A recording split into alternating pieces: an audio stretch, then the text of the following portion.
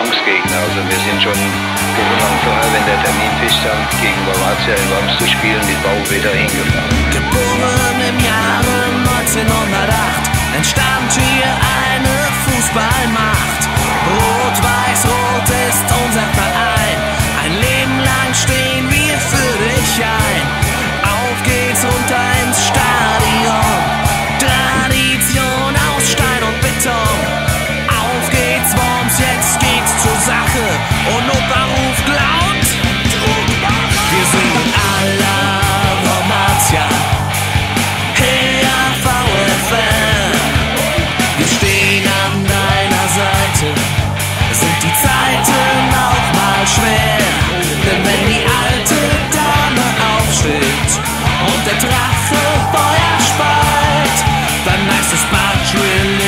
Baby. Wir sind bereit. Unser Idol ist Zeppelfahrt. Mit dem Linken, er konnte, was keiner vermag. Er kam aus der Nibelungenstadt und machte sogar Samora platt. Formatia, wir wollen dich spielen sehen. Elf Freunde, die hier zusammenstehen. Unser Gegner blieb heute lieber zu Hause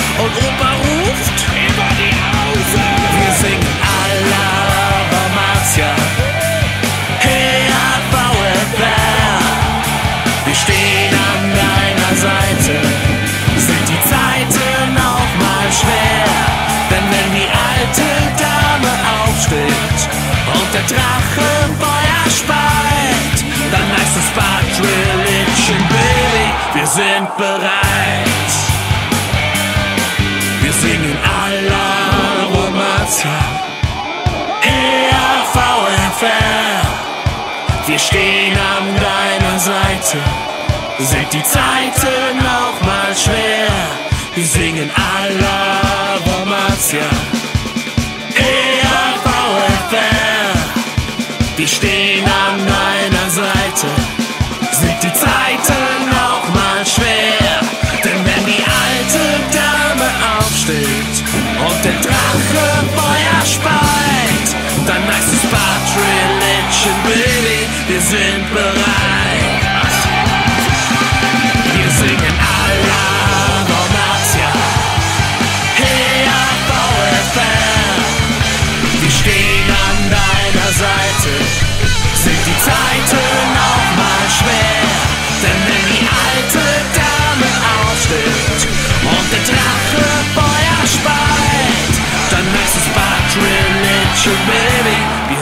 bereit.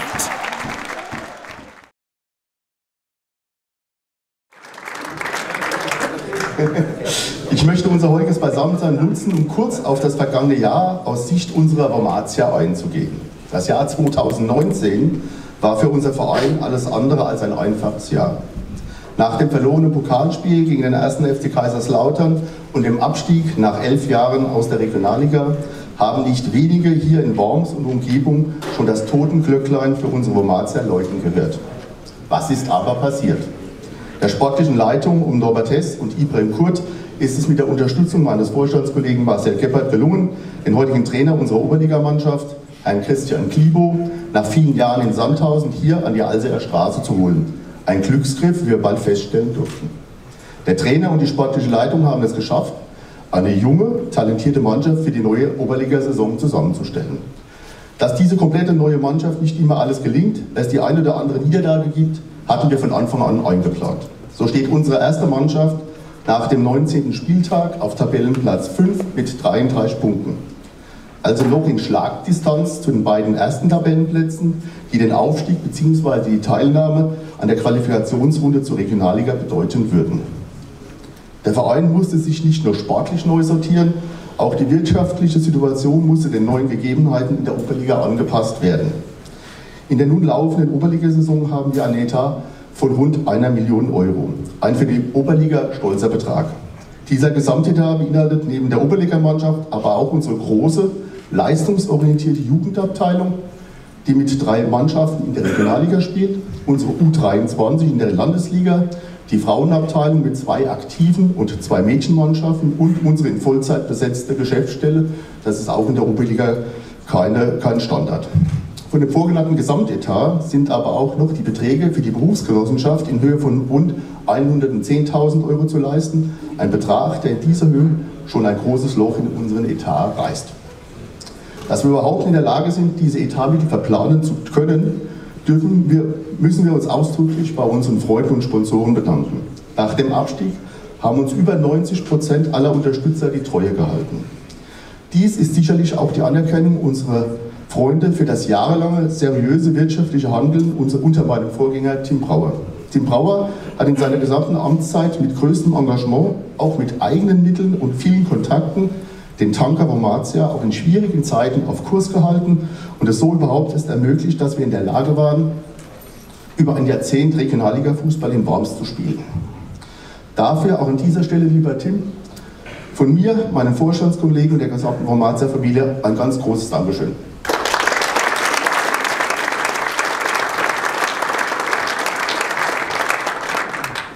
Zwei größere Infrastrukturprojekte beschäftigen den Verein in der nächsten Zeit. Der im Jahre 2006 gebaute erste Kunstrasenplatz ist durch die extreme Beanspruchung unserer, durch unsere vielen Mannschaften stark abgenutzt und muss spätestens im nächsten Jahr erneuert werden. Hier werden wir gezwungen sein, den notwendigen eigenen Teil an der Sanierung aufzubringen. Hier reden wir über einen Betrag zwischen 80 und 100.000 Euro. Die Erneuerung ist aber für unseren Gesamtverein existenziell da wir dringend dieses Trainings- und Spielfeld für unsere Jugend, Damen und U23 benötigen.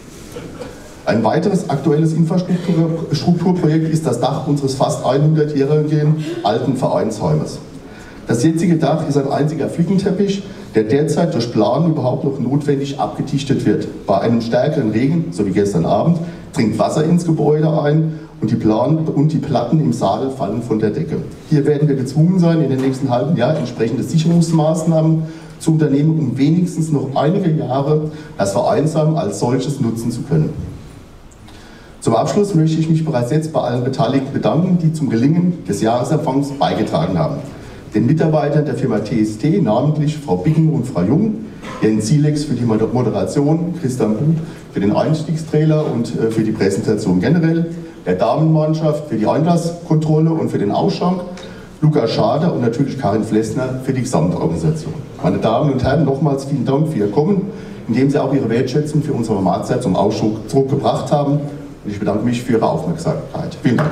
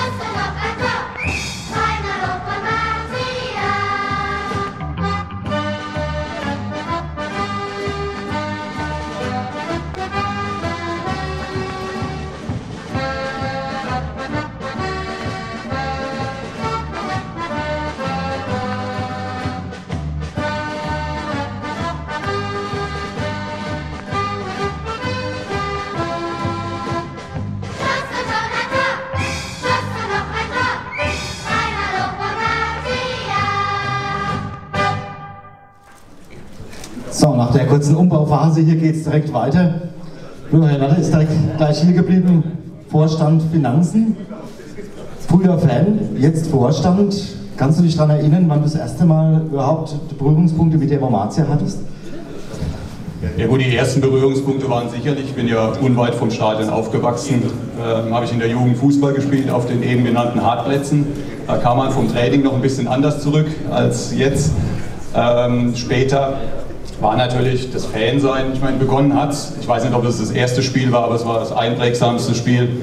Ich meine, viele, die länger bei der Romaza sind, erinnern sich an diese ja, fast Tragödie gegen Hassia Bingen, als wir Mitte der 80er Jahre im Grunde glorreich die Qualifikation für die Relegationsrunde zur zweiten Bundesliga geschafft haben am letzten Spieltag. Zu der Zeit gab es auch keine Internet, logischerweise, und so hat sich dann am Wochenende so nach und nach durchgesetzt, dass man gemerkt hat, es wird doch nicht klappen. Und das war natürlich das Einprägsamste damals. Das Stadion, das kann man sich heute kaum vorstellen.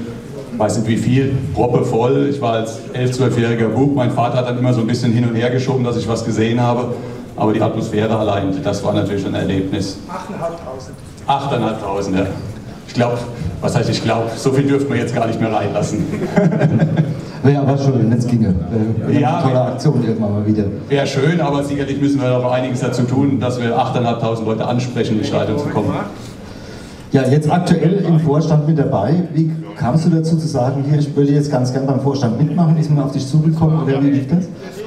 Ja, es gibt im Leben so äh, Begegnungen, wo man erst später merkt, dass die einen größeren Einfluss haben. Im Grunde ist es Zufall, dass ich jetzt heute hier stehe, denn der Zufall war, dass ich mit Tim Brauer das gleiche Hotel ausgewählt hatte, eine in Winterurlaub und über diese Begegnung ist dann ein Austausch über die Wormatia entstanden und irgendwann ein Jahr später kam dann die Frage, kannst du dir eigentlich vorstellen, das Amt zu übernehmen? Ja, ich wurde schon öfters gefragt, gerade meine Frau hat mich auch letztes Mal wieder gefragt, ob ich den Urlaub bereue. Aber weder vom Urlaub als auch von der Begegnung muss ich sagen, es passt und freue mich, dass es so gekommen ist. Was waren denn so die überzeugenden Punkte zu sagen, ja, das, das reizt mich jetzt, das möchte ich jetzt machen? Also ich habe nie mit dem Gedanken gespielt, ein Amt bei der Womatia zu übernehmen, muss ich ganz klar sagen. Deswegen gab es auch nicht diese ähm, Positiv-Negativ-Liste, die man dann gerne so im Kopf hat. Es war so, dass aus diesen Gesprächen ähm, mit dem Tim, mit anderen von der Womatia, ich Ideen auch eingebracht habe, wie jeder Fan auch mal nachgefragt hat, warum macht ihr nicht eigentlich das so? Ist doch von außen betrachtet ganz logisch.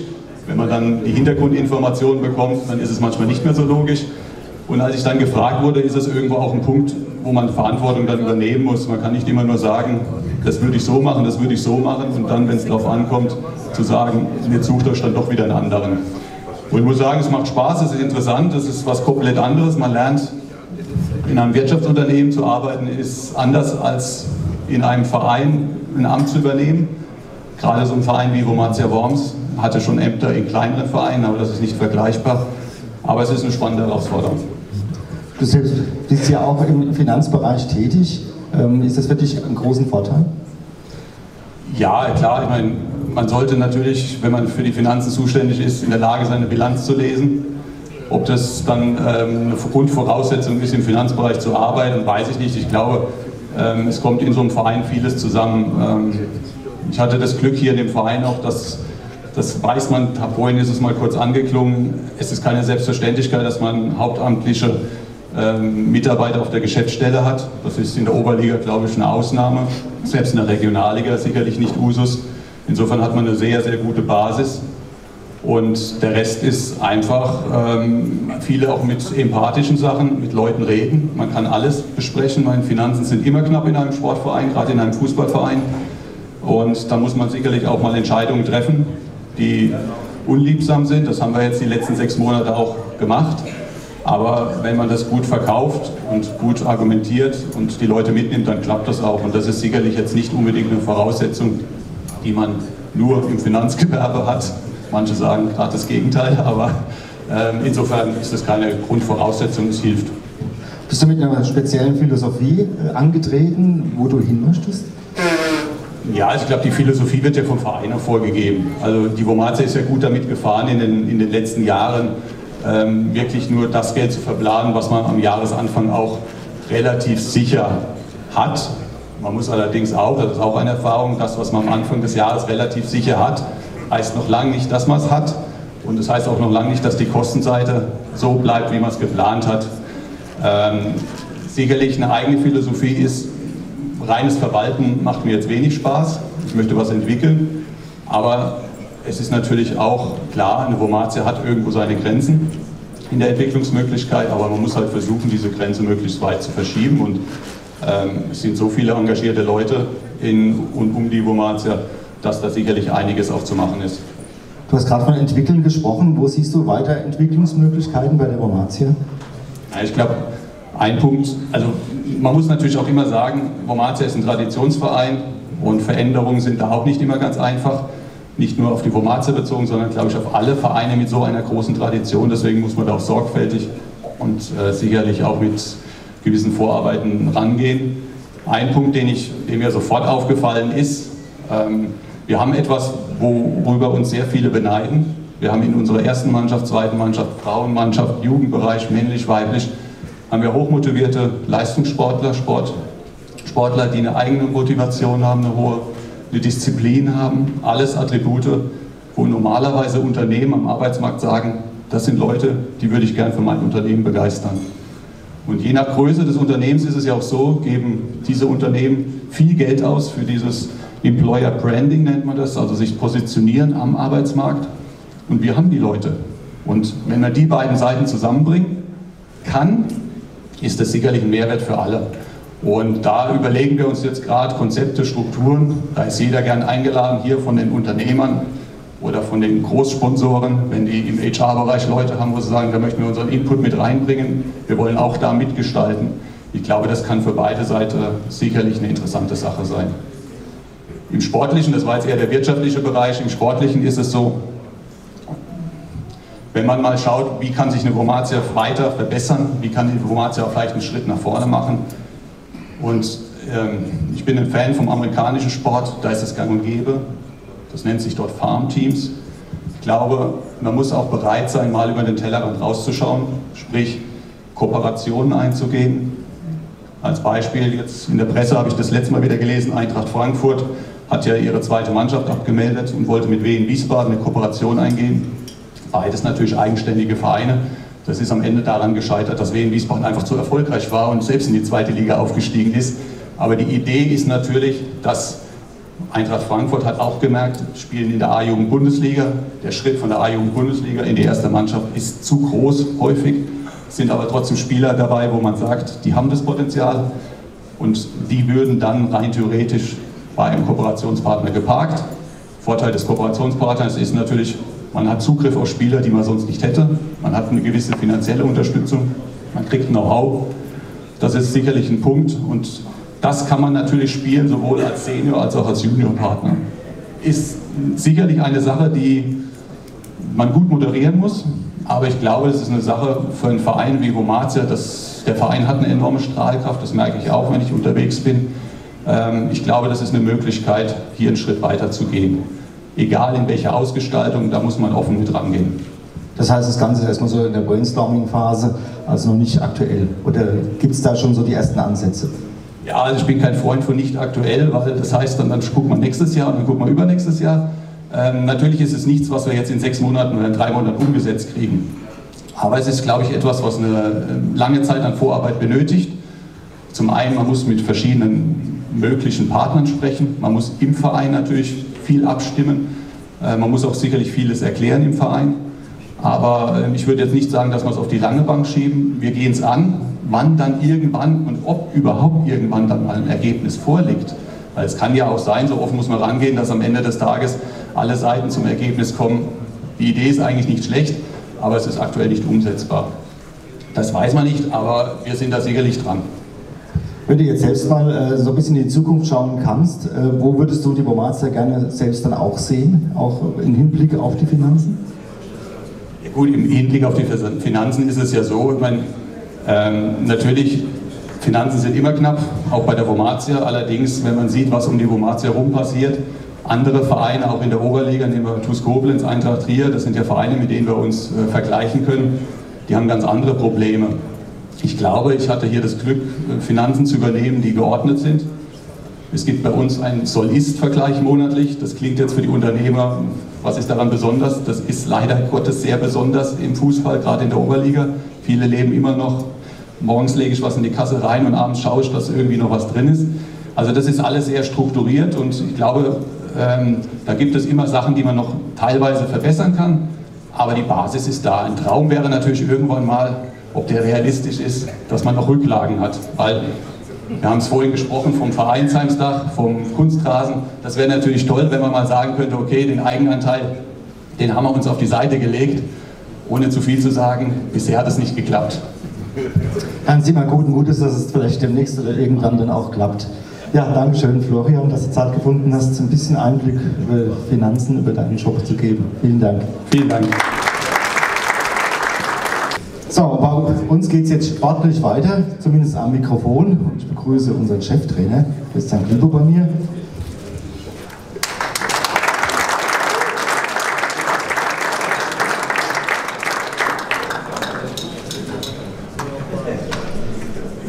Ja, Christian, vielleicht ganz kurz, ganz aktuell, gestern der FSV Frankfurt bei uns zu Gast. Ähm, ich fand, das sah gar nicht so schlecht aus, oder?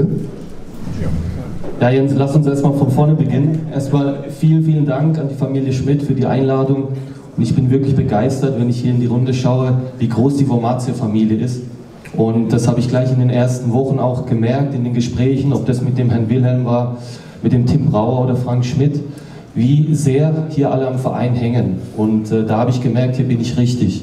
Und ich möchte auch den Anlass nutzen, auch allen hier für 2020 natürlich alles Gute zu wünschen. Bleibt gesund. Und äh, ja, jetzt, jetzt können wir loslegen. Ja, das war ja auch wichtig. Ja. Okay, also gestern war ein richtiger Härtetest gegen den Regionalligisten unter gewissen Umständen, die nicht einfach waren. Wir haben momentan sehr viele Verletzte, das darf man nicht vergessen. Und trotzdem haben wir gestern einen Schritt nach vorne gemacht, was Kompaktheit angeht. Wir haben kaum was zugelassen. Die Tore sind individuell gefallen, das muss man schnell abhaken in der Vorbereitung. Aber wir haben gut gespielt und darauf lässt sich aufbauen.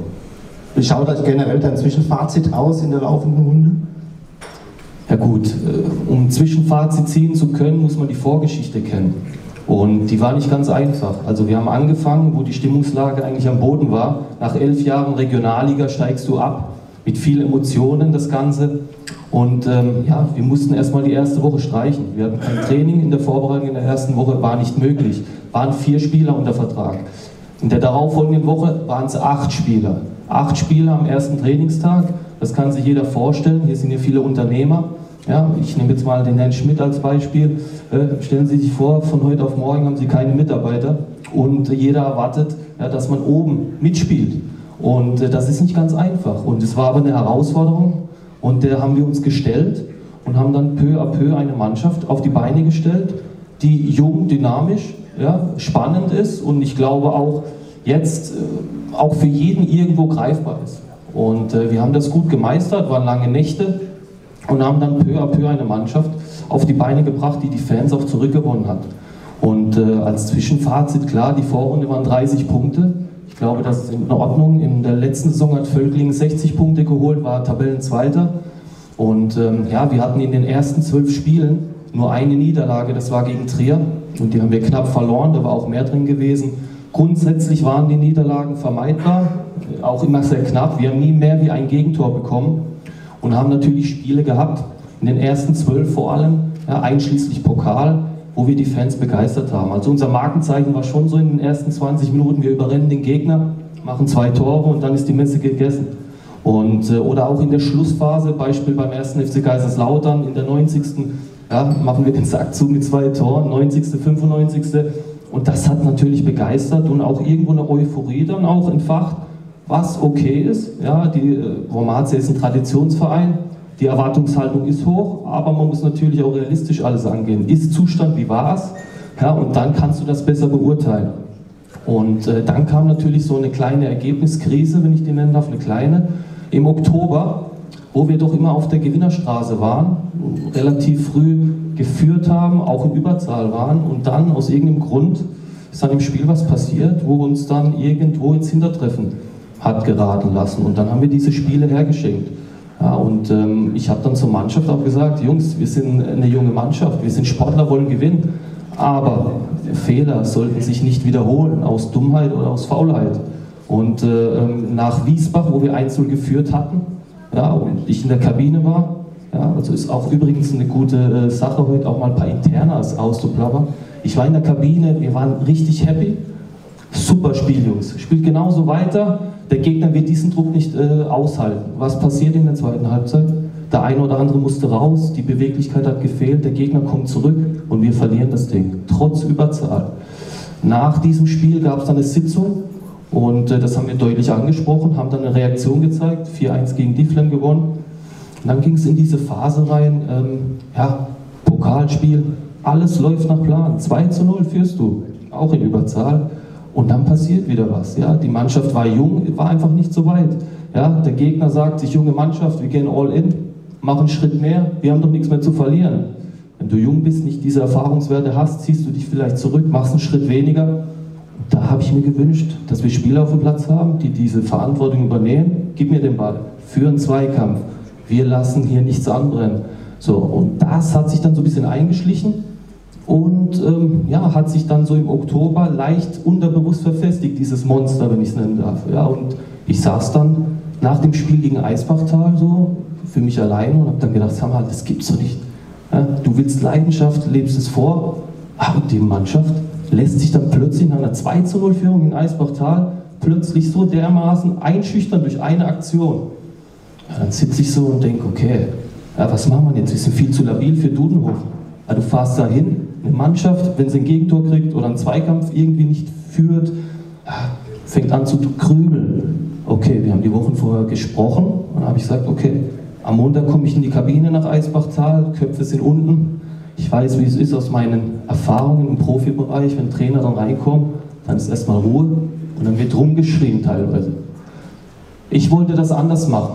Ich habe für mich gesagt, okay, wir haben darüber gesprochen, wenn ihr es nicht versteht, Schienbeinschoner anziehen, in fünf Minuten auf dem Platz. Ich habe mir Tage vorher Gedanken gemacht, okay, kleine Spielform. Ich muss die Spieler, die von der Hierarchie oben sind, dazu bewegen, sich gegenseitig auch mal auf die Füße zu treten. Alles in einem Maß, wo noch fair ist. Ich habe aber nichts abgepfiffen. Also mich hat das keine Rolle gespielt, wie, wie das faul war. Ich wollte eine Zweikampfführung, weil ich wusste, in Dudenhofen spielst du auf dem Acker gegen die heimstärkste Mannschaft, die kein Spiel verloren hat, gegen den Tabellenführer gewinnt, ja, 1 zu 0 und die voller Selbstvertrauen ist. Und wir sind labil. Okay, enges Spielfeld, habe die Mannschaftsaufstellung so gemacht. Ich sage jetzt Namen, die Jungs sind ja da. Also ihr wisst, ich bin da offen und ehrlich. Ich wollte Erik Lickert, Fatih Köxer, Zweikampf. Ja, nicht aus dem Weg gehen, haut euch mal um. Jan Dahlke und so weiter. Ja, und das ist passiert. Das ist passiert, dann sind Worte gefallen, heul nicht rum, steh auf. Aha, ich war nur ruhig. Ich habe innerlich applaudiert.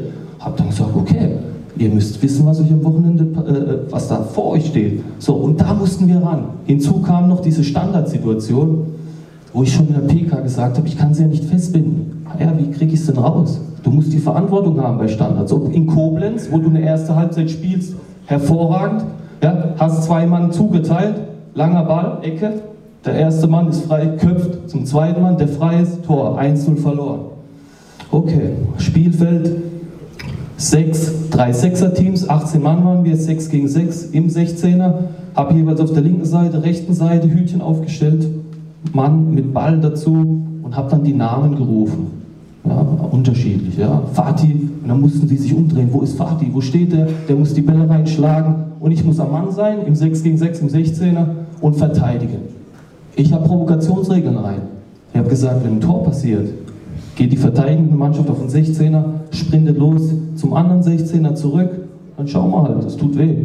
Okay, was war? Wir hatten eine Mannschaft, die ein Tor bekommen hat, ich gepfiffen, 16er Sprint, zum nächsten 16er zurück. Okay, diese Mannschaft hat gleich hinterher ein zweites Tor bekommen. Sprint, vor, zurück. So, was glaubst du, wie die dann in die Bälle gegangen sind? Ja, das sind die Alarmglocken bildlich weg gewesen. Ich habe dich angeschaut, dein Kopf war rot, die Säure war oben. Okay, willst du verteidigen oder willst du ein Tor kriegen? Ah, was denken Sie, was machen? Jetzt gehen wir zum Mann. Und kein Tor ist mehr passiert. Kein einziges Tor. Und das meine ich mit Einstellung. Du musst diese Mentalität haben, ja, diesen Ball zu verteidigen. Also es waren jetzt so ein paar Kleinigkeiten. Ich finde es nämlich interessant. Ich wollte es jetzt auch mal aus dem Nähkästchen plappern, wie man als Trainer auch versucht, man muss nicht immer draufhauen, sondern durch Regeln das Ganze zu steuern. So, und äh, das war der Ansatz und wir haben Dudenhofen 1 geschlagen. Wir waren in der Kabine, da sind Worte gefallen, die will ich jetzt hier nicht erwähnen. Ja, die waren heiß. Ich habe zu Max, zum Co-Trainer gesagt, Max, schau dir das an. Wir haben heute dieses Spiel schon in der Kabine gewonnen. Und das erwarte ich jetzt in den nächsten Spielen und das wird der Ansatz sein.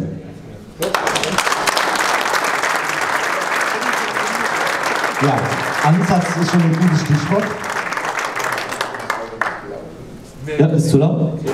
Gutes ich nicht. Stichwort Vorbereitung. Ähm, die aktuelle, wie schaut es im Moment aus? Alle mental fit? Ja, nach einer Pause musst du fit sein im Kopf. Erst sechs Wochen Pause, wenn du da nicht mental fit bist, weiß ich auch nicht. Ähm, ja, die haben Laufpläne bekommen, haben sie auch wirklich alle sehr gut umgesetzt und äh, sind auch jetzt, auch im Vergleich zu FSV Frankfurt gestern, fand ich uns sehr frisch und fit zu diesem Zeitpunkt. Wir haben ja noch vor, äh, vier Wochen Vorbereitung.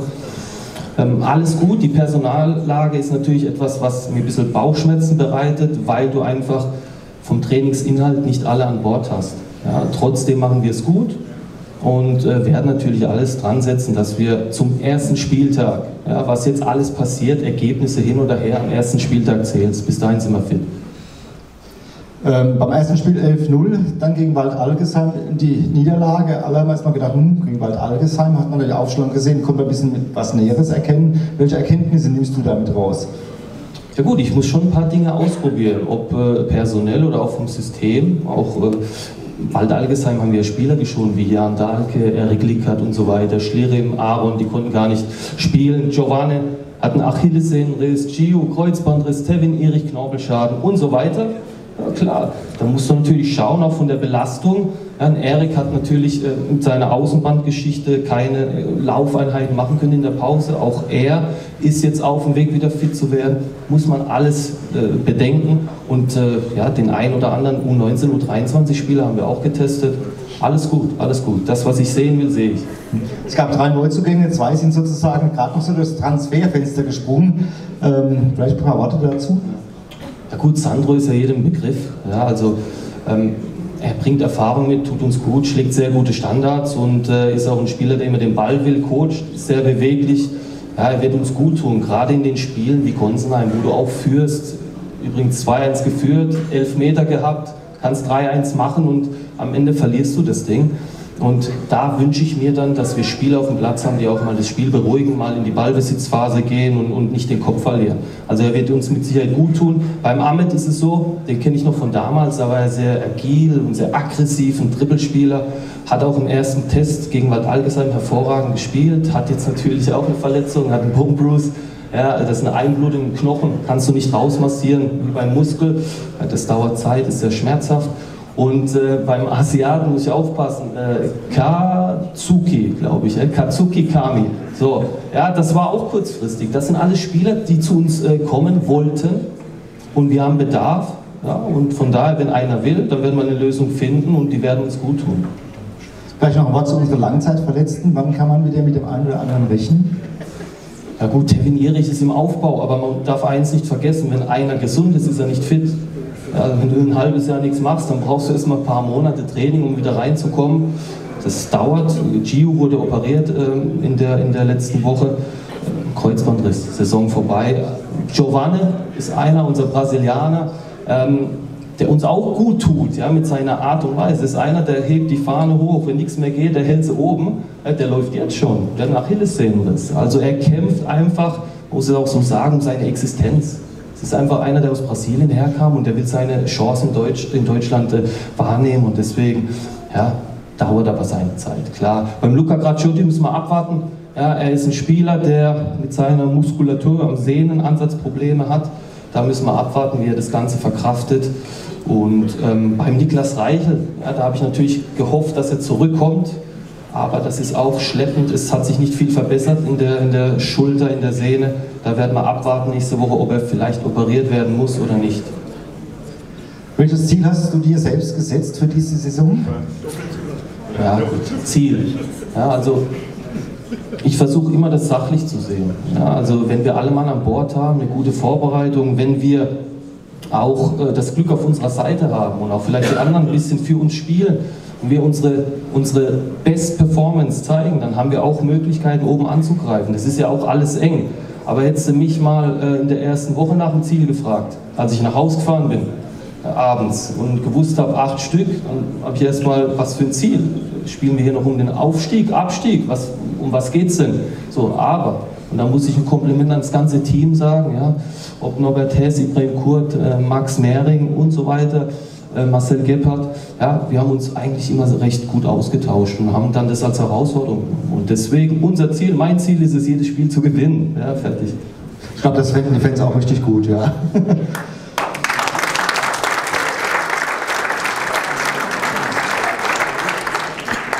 Ich werde oft gefragt, laufen im Hintergrund schon ein bisschen Planung für die nächste Saison? Ja klar. Es ist ja, also es ist ja selbstverständlich, ja. Du kannst im Fußball nicht im Juni anfangen zu planen, so wie wir es gemacht haben. Das ist sehr schwierig. Und trotzdem, im Vergleich zu vielen anderen Mannschaften, ja, ich nehme mal das Thema Vettersheim auf, was ja auch oft gerne äh, benutzt wird. Im Vergleich dazu ist das eine eingespielte Truppe. Die waren letztes Jahr Dritter gewesen, haben, wenn ich nur sieben Spieler nehme, haben die im Schnitt über 150 Oberligaspiele, teilweise Spieler drin, 150 Regionalligaspiele und jeder denkt, wir müssen die schlagen. Mit einem Altersdurchschnitt von 21 Jahren. Eine neu zusammengewürfelte Mannschaft, die sich finden muss, Automatismen, Verletzungen und wir haben es geschafft. Also nochmal, also ich bin unheimlich stolz auf diese Mannschaft und äh, so muss es einfach weitergehen.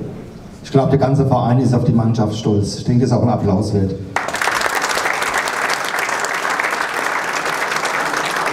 Welche Erfahrung kannst du eigentlich als ehemaliger Profi weitergeben? Gibt es da die Jungs, die dann sagen, ich habe einen Trainer, der war schon mal Profi, da muss ich große Ohren haben? Ja, es hilft schon. Also ich wäre nicht authentisch, wenn ich hier vorne stehe und dem Spiel erzähle, wie es funktioniert und ich habe es nicht erlebt. Ja, wo kommt man denn da hin? Dann, ja, dann, dann, glauben die mir ja kein Wort. Ich bin 2007 aufgestiegen mit Wien Wiesbaden in die zweite Bundesliga als Meister. 2012 mit Sandhausen als Meister in die zweite Bundesliga aufgestiegen. Aber ich habe auch Abstiege erlebt. So, beides hat mich zu dem gemacht, wie ich jetzt denke. Und äh, ich weiß, wie sich ein Spieler fühlt, der mal nicht spielt. Ich weiß, wie sich ein Spieler fühlt, der nicht im Kader ist. Ja, oder was der ein oder andere braucht. Das, das machen wir dann in persönlichen Gesprächen. Und das hilft mit Sicherheit, um die Situation besser einzuschätzen. Was kannst du genau der Mannschaft mitgeben als ehemaliger Profi? Hast du da auch irgendwo auch Trainer selbst gehabt, äh, wo du sagst, die haben mir was mitgegeben, was ich jetzt selbst auch verwenden kann? Ja, die gibt es immer. Es gibt solche und solche Trainer. Es gibt Trainer, da hast du Erfolg, weißt nicht warum. Ja, weil die Mannschaft eigentlich stark war. So, das gibt's, es gibt verschiedene Facetten. Ich glaube, mit Wolfgang Frank hatte ich einen Trainer, äh, der ja die Viererkette auch als erstes nach Deutschland brachte und unter dem auch Spieler und jetzige Trainer wie Jürgen Klopp, Marco Rose, Sandro Schwarz, Lieberknecht und so weiter waren. Die schwärmen ja von ihm, weil er einfach diese mentale Stärke reinbringt und viele Gespräche mit dir führt. Also ich habe damals in der Türkei im Trainingslager drei Stunden mit ihm in der Lobby erzählt und das hat mir viel gebracht. Er hat halt immer gesagt, Glück ist kein Zufall. Ja, man muss hart arbeiten und äh, immer dranbleiben und ja, also da nehme ich schon viele Dinge mit, auch von Trainern, die mir vielleicht nicht so gepasst haben. Ja, das kann auch passieren, aber ich, ich versuche dann meinen eigenen Weg zu gehen. Zum Abschluss vielleicht noch eine kleine Vorausschau, ähm, Vorbereitung. Was steht noch an? Was hast du im Training noch vor? Gibt es spezielle Events vielleicht auch noch? Ja, wir waren jetzt vor kurzem in Bad Boys 3 gewesen. Äh, das spiegelt so ein bisschen die Mannschaft wieder. Ja. Ähm, das war eine gute Geschichte. Dann wird mit Sicherheit noch das ein oder andere äh, Team-Event kommen. Das darf ich jetzt hier nicht verraten. Und äh, ja, wir werden Testspiele haben gegen Neckarsulm, gestandener Oberligist, TSG Hoffenheim 2 und dann gegen Hettesheim.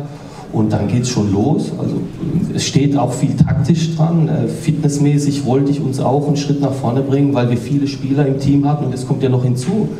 Nehmen wir die erste äh, Elf von Eisbachtal. Da waren zwei Spieler, die durchgängig gespielt haben.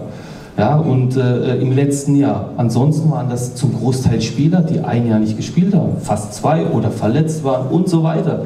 Das musst du alles bedenken.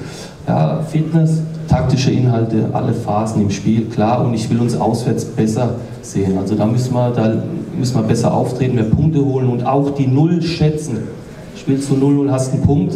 Ja, und da müssen wir hinkommen. Überall, wo ich Meister wurde, waren wir die beste Abwehr der Liga. So, und da müssen wir hinkommen. Zum Abschluss noch die Frage, Eintracht TS geht an die Mosel. Ähm, wie wichtig ist es da, eventuell gleich was Zählbares mitzunehmen? Gut, man muss eines wissen, ne? wir haben noch 15 Spiele, glaube ich, sind und da entscheidet sich noch nichts, da um mal ein bisschen Druck daraus zu nehmen. Ja, weil wenn du gewinnst, das nächste Spiel verlierst, kann es wieder gleich sein. Aber ja, wir haben in dem ersten Spiel äh, 1-0 verloren. Wir wissen, was auf uns zukommt. Sie haben auch äh, groß äh, gesagt, sie müssen und wollen aufsteigen. Ja, und wir werden uns so vorbereiten, dass wir die passende Antwort dann auch haben, egal was passiert. Und ich hoffe natürlich, dass wir es positiv gestalten können. Ja, dann sage ich Dankeschön, dass du ein bisschen Einblick gewährt hast, so in verschiedene Richtungen. Und für dich haben wir auch noch eine Kleinigkeit. Oh, Schokolade. Dankeschön. Vielen Dank. So, was Süßes.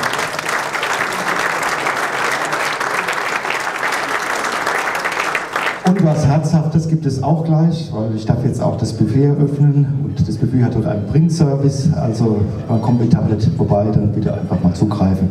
Ich darf mich verabschieden, wünsche Ihnen noch einen schönen Restsonntag. Dankeschön.